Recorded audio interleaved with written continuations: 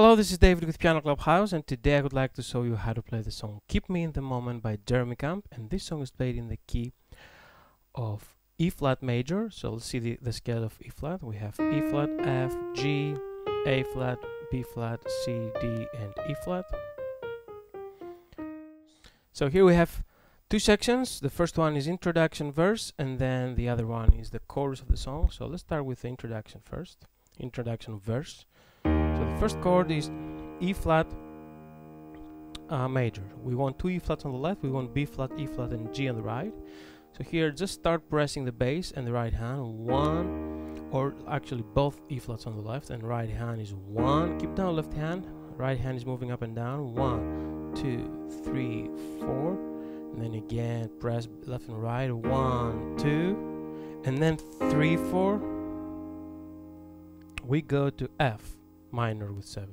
So F, F on the left, C, E flat, and A flat on the right. So again, starting on E flat major, one, two, three, four. Now once start, once you start playing this, hit this E flat on the left when the right hand is up, like one, two, E flat three, E flat four, E flat one, two, and then um, go up to three, one, two, three, and then just hit F minor with 7 when it's 4, okay? So 1, 2, 3, 4, plus 4, 1, 2, 3, 4 in F minor with 7.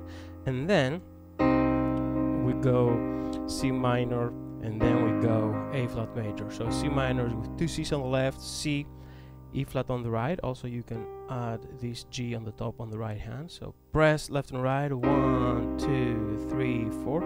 Again, you can hit this D on the left when the right hand is up. So one, two, D, three, D, four, D. Right hand keeps being the same on the left. We go to A flat.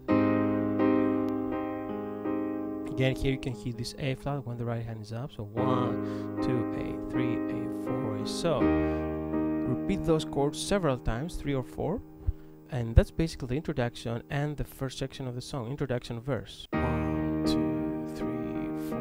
One two three four. One two three four. One two three four. So repeat this several times. Once you're done with it we go to the chorus. Chorus starts in the same way. Two three four